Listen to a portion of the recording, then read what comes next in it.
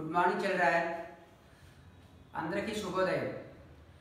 గత క్లాసులో మనం రెండవ పాఠము అయినటువంటి నాలుగవ పాఠం అయినటువంటి మన మేలిమి ముత్యాలు.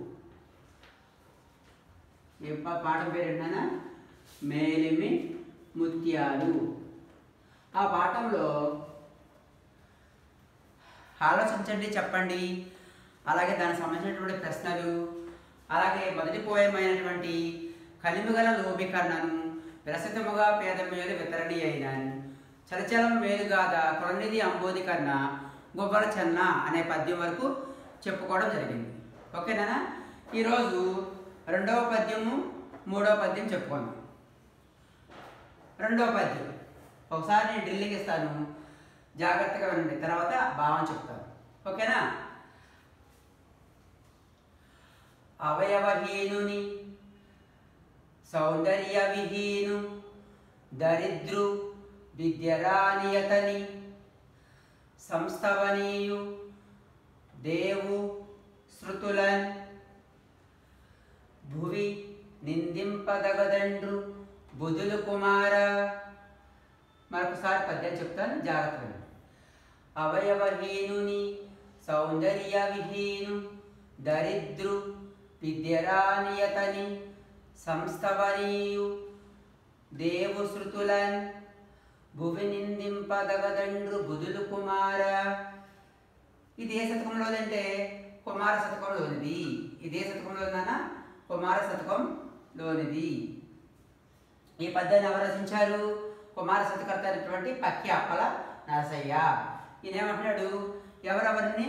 ఎలాంటి వారిని నిందించకూడదు అంటున్నాడు ఎలాంటి వారిని నిందించకూడదు అంటున్నాడు? మొట్టమొదట అవయవహీనుని. అవయవహీనుని అంటే అంత అవయవహీనుని అంటే అర్థం అవయవ లోపాలు ఉన్నటువంటి వారిని. అంటే కొంతమందికి చేతులు ఉంటే కాళ్ళు ఉండవు కాళ్ళు ఉంటే చేతులు ఉండవు. అవునా? వాళ్ళు ఏమంటారు? హ్యాండిక్యాప్డ్ అంటారు. సో అలాంటి వాళ్ళు ఏమంటారు? అవయవహీనులు అంటే అవయవాలు లేనటువంటి వారిని చూసి ఎగతాళి చేయకూడదు అంటారు. అలాగే సౌందర్య విహీనున్ రెండోది ఏంటన్నా? సౌందర్య విహీనున్ సౌందర్య అంటే అందముగా లేనటువంటి వారిని. ఒకటేమో అవయవ హీనుడు అంటే అవయవ లోపము ఉన్నవారిని. అవయవ లోపము. రెండోది సౌందర్య విహీనుడు అంటే అందముగా లేని వారి గురించి. అందముగా లేని వారిని చూసి ఎగతాళి లేని వారిని చేయకూడదు మూడవది దరిద్రు. దరిద్రుడు అంటే ఎవరు? దరిద్రుడు అంటే పేదవాడు. దరిద్రుడు అంటే అర్థం పేదవాడు.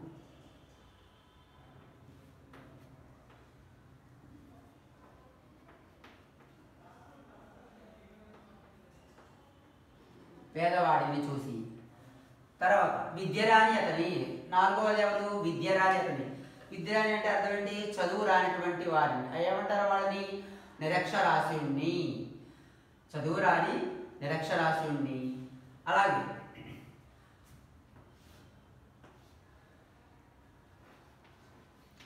నిరక్ష నిరక్షరాస్యుణ్ణి.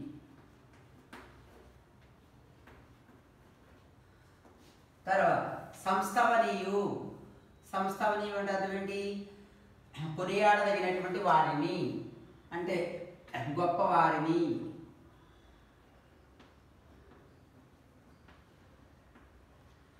తర్వాత దేవు. దేవతలను శృతులను వేదాలను భువి. లోకములో బుధులు పండితులు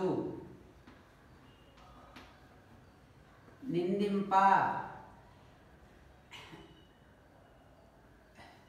నిందించడం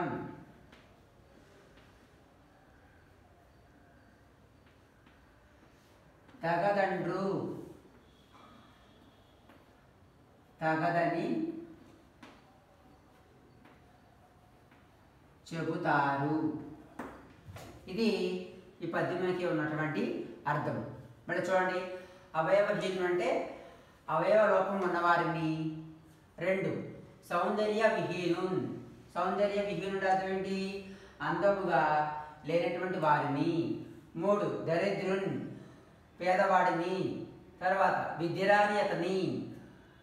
అంటే చదువు రానటువంటి వారిని ఏమంటారు? నిర నిరక్షరాస్యుణ్ణి.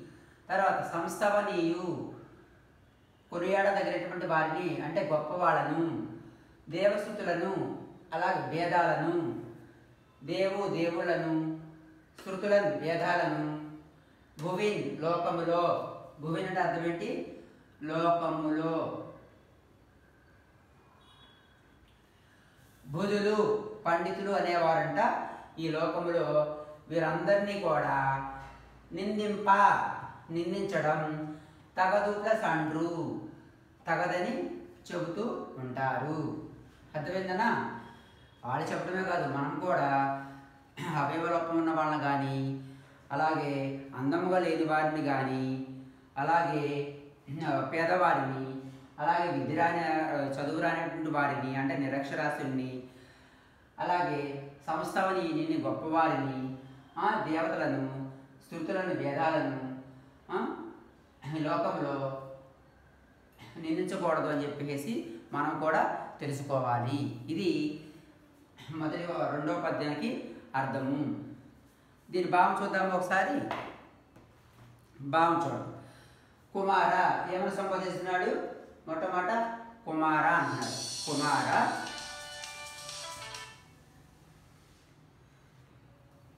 కుమార భూమిపైన అవయవ రూపం ఉన్న వాళ్ళను అందంగా లేని వాళ్ళను పేదవాళ్ళను నిరక్షరాస్యుల్ని గొప్పవాళ్ళను దైవాన్ని వేదాలను నిందించకూడదని పెద్దలు చెబుతారు. ఇది రెండో పద్యం యొక్క భావం.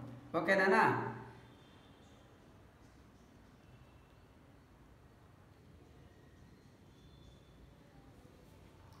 తర్వాత పద్యం. మూడవ పద్యం. ఢిల్లీ చెప్తాను జాగ్రత్త. పుస్తకముల నీవు పువ్వు ఓలెను చూడు. పుస్తకముల నీవు పువ్వు ఓలెను చూడు. చింపబోకు మురికి చేయబోకు. చింపబోకు మురికి చేయబోకు. పరుల పుస్తకముల పరుల పుస్తకముల నెరవు తెచ్చితవే కచ్చితివేని. నెరవు తెచ్చితివేని. తిరిగి ఇమ్ము వేగ తెలుగు బిడ్డ. మళ్ళీ. పుస్తకముల నీవు పువ్వో పువ్వువోలిని చూడు. చెంపబోకు మురికి చేయబోకు. పరుల పుస్తకముల నెరవు తెచ్చితివేని. తిరిగి ఇమ్ము వేగ తెలుగు బిడ్డ. మరి ఇదే శతకంలో ఉంది? తెలుగు పూల శతకంలో ఉంది. తెలుగు పూల శతకం రచించింది ఎవరు నార్ల చిరంజీవి. ఇప్పుడు దీని మీనింగ్ చూద్దాం చూడండి. పుస్తకములు పుస్తకం అంటే మనకు తెలుసు కదా? మనం చదువుకునేటువంటి పుస్తకాలను ఏమంటాము? పుస్తకాలు పుస్తకము. మనము పుస్తకాలంట మనము ఎలా చూడాలంట? పువ్వు ఓడని చూడాలి. పువ్వులాగా చూసుకోవాలంటున్నాడు. తర్వాత రెండోది వాటిని ఏం చేయకూడదు అంటున్నాడు? చింపబోకు చించకూడదు. చింపి చింపి పారవేయకూడదు అంటున్నాడు.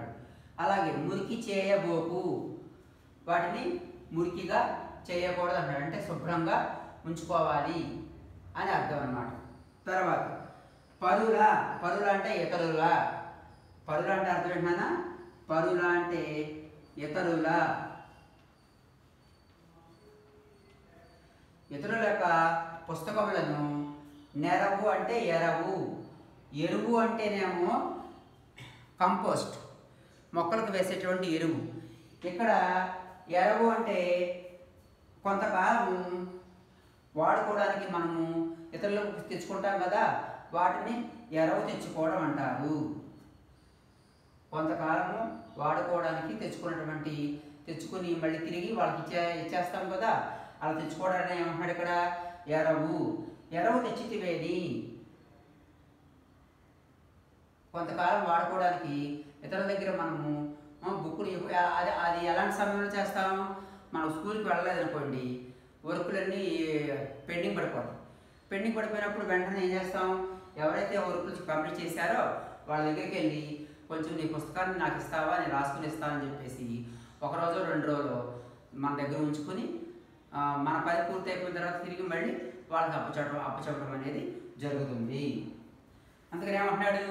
పరుల పుస్తకములు ఇతరుల యొక్క పుస్తకాలని వాడుకోవడానికి తెచ్చుకున్నప్పుడు తెచ్చినప్పుడు తిరిగి ఎమ్ము వేగ. వెంటనే మళ్ళీ వాటిని తిరిగి మళ్ళీ మరలా వాటిని ఎవరి దగ్గర అయితే మనం తెచ్చుకున్నామో వారికి ఆ బుక్స్ని ఆ, పుస్తకాలు తిరిగి ఇచ్చివేయమంటున్నారు. ఎవరు? తెలుగు బిడ్డ. తెలుగు బిడ్డ అంటే ఓ తెలుగు బాలుడా? ఎవరు? తెలుగు పూల శతకాన్ని దర్శించినటువంటి నాన్న చిరంజీవి గారు సంబోధిస్తూ చెప్తున్నారు. దీని భావం చూద్దాం చూడండి. ఓ తెలుగు బిడ్డ పుస్తకాలను పువ్వుల్లా చూడు. పుస్తకాలు ఎలా చూడాలన్నా? పువ్వుల్లా చూడాలి. మనమంతా మన హృదయాన్ని మన యొక్క శరీరాన్ని ఎంత శుభ్రంగా ఉంచుకుంటామో. అలాగే మనం చదువుకునేటువంటి పుస్తకాలను కూడా పువ్వుల్లాగా ఉంచుకు చూడాలని చెప్పేసి అంటున్నాడు. పువ్వులు అంటే పూలు దేని గుర్తు? పూలు సుకుమారానికి గుర్తు. సో పువ్వుల కన్నా కూడా ఎక్కువగా చూసుకోవాలని చెప్పేసి అర్థం. అలాగే వాడిని ఏం చేయవద్దు అంటాడు ఎలా పడితే అలా చించి చెంపవద్దు అంటున్నాడు. పుస్తకాలు ఏమైనా చించుకుంటారా? పుస్తకం సాక్షాత్ సరస్వతీదేవి కదా పుస్తకాలు చించకూడదు. అలాగే మురికి చేయవద్దు. పుస్తకాలను ఎక్కడ పడితే అక్కడ పెట్టి పడేసామనుకోండి దానికి డస్ట్ అంటుకొని దుమ్ము ధూళి అంటుకొని కొత్తగా ఉన్న పుస్తకం కాస్త మురికిగా తయారైపోతుంది. అలాగే ఇతరుల పుస్తకాలను అడిగించుకుంటే వాటిని త్వరగా తిరిగి ఇచ్చివేయాలి. ఇతరుల పుస్తకాన్ని ఇంతకుముందే మనం చెప్పుకున్నాం మనం బడికి వెళ్ళలేదనుకోండి మన వర్కులు పెండింగ్ పడిపోతాయని చెప్పేసి ఉద్దేశంతో పక్క వాళ్ళ దగ్గరికి వెళ్ళి కం పూర్తయినటువంటి బుక్ తీసుకుని మనం తెచ్చుకొని మళ్ళీ ఆ వర్క్ని కంప్లీట్ చేసుకుని తర్వాత మళ్ళీ వెంటనే వాళ్ళకి తిరిగి ఇచ్చేస్తే మరలా మళ్ళీ మనకు అవసరమైనప్పుడు వాళ్ళు పుస్తకం ఇవ్వడానికి ఇష్టపడతారు. ఓకేనా ఇంతటితో ఈరోజు ఈ పాఠాన్ని ముగిస్తున్నాను. ధన్యవాదాలు